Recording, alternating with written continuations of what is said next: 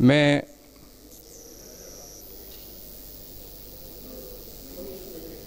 मुख्तरम एजाज अहमद कुरैशी साहब से गुजारिश कर सा कि वो स्टेज तशरीफ़ लियाउन तो मेहमान खसूसी तो मेहमान ग्रामी खुश आमदेद, खैर लाओ कहूँ जनाब मुख्तरम एजाज अहमद कुरैशी साहब।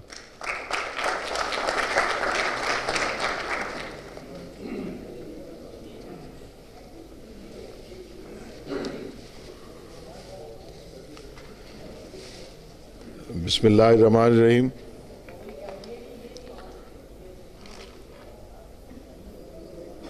मोहतरम जनाब स्पीकर साहब मेहमान आने ग्रामी मोज़ ख़वान हजरात, मैं चंद कलमात जनाब स्पीकर साहब जो हमारे चीफ गेस्ट हैं, उनकी खिदमत में उर्दू में पेश करूँगा। सबसे पहले तो मैं दिली और पुरखलूस इनको खुश आमदेद कहता हूँ और इस बात को सराहता हूँ कि उन्होंने छुट्टी वाले दिन हमारे लिए टाइम निकाला और सही तौर पे speaker of K P assembly जो कि न सिर्फ़ एक इलाके बल्कि हर ज़बान, हर कल्चर और जितने इस सूबे के लोग हैं, उनकी नुमाइंदगी आज करने तशरीफ़ लाए हैं। मैं उनका दिली शुक्रिया अदा करता हूँ।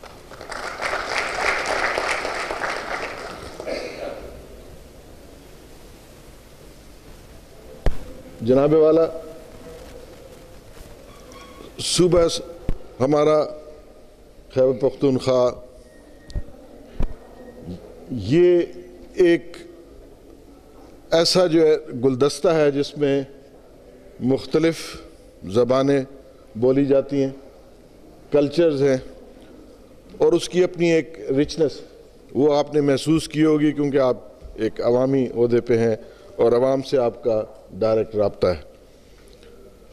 तो इस सूबे की जो आबादी है नॉन पश्तो स्पीकिंग वो आप अगर अंदाज़ा लगाएँ तो करोड़ से ज़्यादा के बराबर होगी। और मैं इस चीज़ पे आपको ट्रिब्यूट पेश करता हूँ कि आपने इस चीज़ को रिकग्नाइज करते हुए आज वजीराई बख्शी के गंदारा हिंदको बोर्ड ने जो एक इंटरनेशनल कॉन्फ्रेंस मुनद की है, जिसमें दूसरे ममालिक से भी हमारे स्कॉलर्स इंटेलेक्चुअल्स तशरीफ़ लाए हैं। उसमें न सिर्फ़ हमारी इज़्ज़त बख्शी है, बल्कि इस सूबे के लिए भी हमारे लिए बहुत बायस इफ्तार है। इन चंद गलों के बाद मैं ये अर्ज़ करांगा कि गंदारा हिंद को बोर्ड के नाल किस तरह मेरी एसोसीएशन हुई। ये ठीक है कि मैं southern district Saraiki speaking D I Khan का लेकिन सारी सर्विस मेरी तीस साल अल्लाह के फजल नाल इस सूबे गुजरी है। तो इस मैं मुख्तलिफ़ इलाकों की दोस्तों की मुहब्बत, शफकत और लीडर्स की जो इतने लीडरशिप क्वालिटीज़ हैं साढ़े सूबे उन्होंने मैं अंदाज़ा होया। जिस वक्त सर्विस शुरू की उस वक्त हयात शेरपाओ साढ़े प्रैक्टिकली चीफ मिनिस्टर सन। उन्होंने रबता रहा, फिर जनरल फ़र्ज़ हक आए, फिर दूसरे। तो उस दौरान मैं जिस वक्त ये देखा कि गंदारा हिंद को बोर्ड एक चंद अशास जिस तरीके ना चला रहे हैं डेडिकेशन अपनी कंट्रीब्यूशन करके कोई पाँच सौ, कोई हज़ार तो उस इन्होंने इंटरैशनल कॉन्फ्रेंस मुनकद की ते कोई सरकारी इमदाद नहीं सी। इतने मुखलस लोग,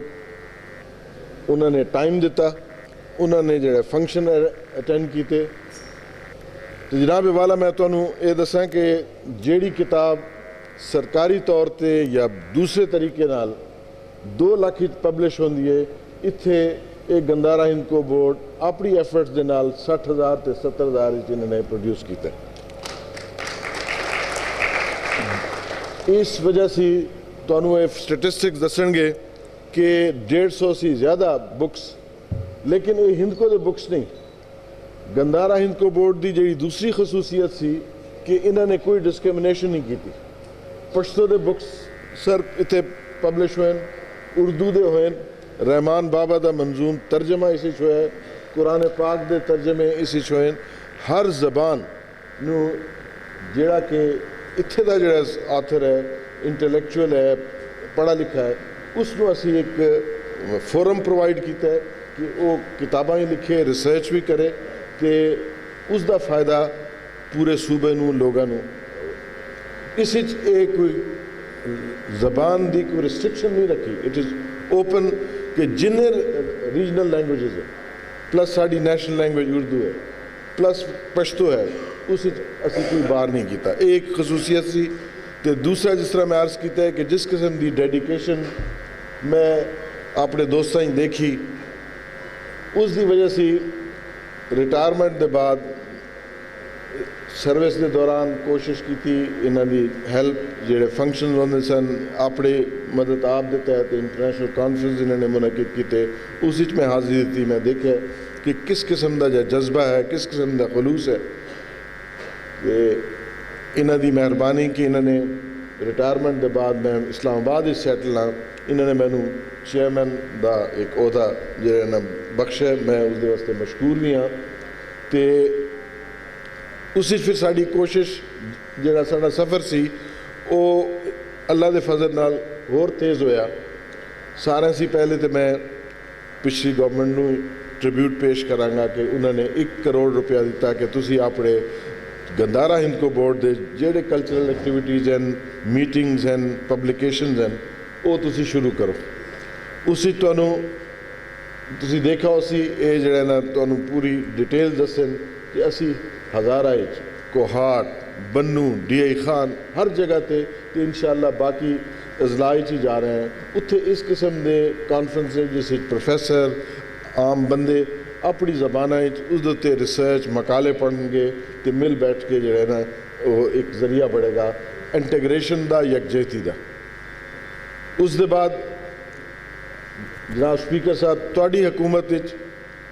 ਇਸ ਦਾ ਪੀਸੀ 1 ਅਪਰੂਵ ਹੋਇਆ क्योंकि असी चाहते सी कि जी एक जो हिंद को जो अपनी एक अकैडमी बढ़े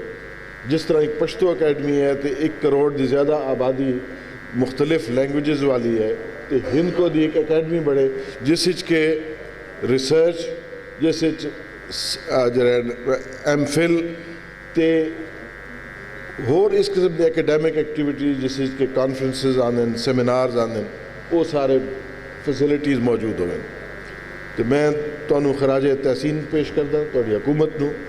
ਕਿ ਨਾ ਸਿਰਫ ਉਹ ਜਿਹੜਾ ਪੀਸੀ 1 ਅਪਰੂਵ ਹੋਇਆ ਹੈ